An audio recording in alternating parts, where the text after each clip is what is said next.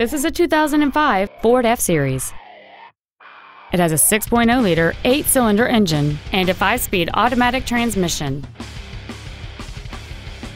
All of the following features are included. Dual power seats, air conditioning, cruise control, 12-volt power outlets, dual airbags, full power accessories, front and rear reading lights, a sliding rear window, an anti-lock braking system, and alloy wheels.